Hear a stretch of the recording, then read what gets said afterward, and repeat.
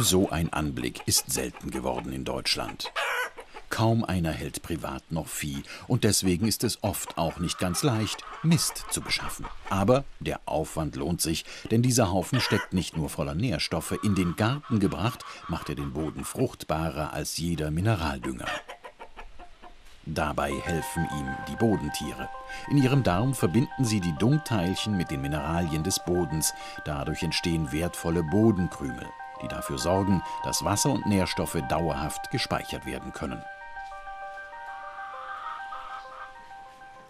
Mist sollten Sie aber nie ganz frisch im Garten ausbringen. Besser ist es, Sie setzen ihn wie den Kompost einige Zeit zur Rotte auf. Dabei entsteht Hitze, die unangenehme Keime und Unkräuter abtötet. Außerdem werden die Nährstoffe beim Verrotten besser aufgeschlossen.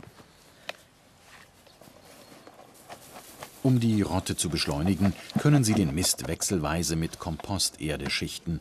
Gut ist es auch, gegen den Geruch etwas Gesteinsmehl dazwischen zu streuen. Kalk ist in diesem Fall verboten, denn der würde den wertvollen Stickstoff freisetzen. Nun noch etwas anfeuchten und dann abgedeckt liegen lassen. In ein paar Monaten ist der wertvolle Gartendünger fertig. Im Übrigen ist Mist nicht gleich Mist. Rinderdung etwa ergibt einen sehr guten Dünger.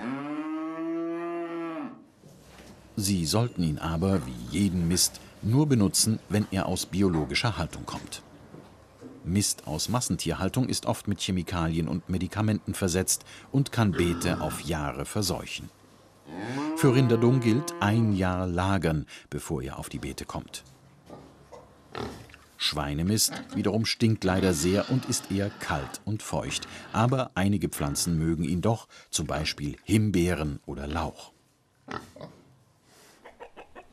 Hühnermist dagegen ist so reich an Nährstoffen, dass er Pflanzen verbrennen kann, wenn er frisch aufs Beet kommt. Er enthält sehr viel Kali und Phosphor. Sie sollten ihn nur in kleinen Mengen und möglichst kompostiert ausbringen.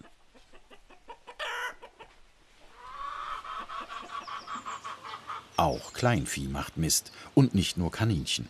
Auch von Rennmäusen und Meerschweinchen können sie den Einstreu in Dünger verwandeln.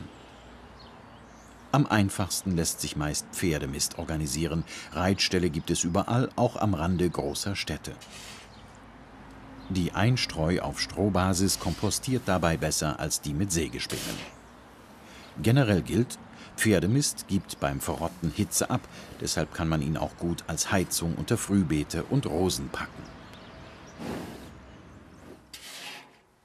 Pferdeäpfel sind übrigens der einzige Kot, den Sie im Herbst direkt aufs Beet ausbringen können.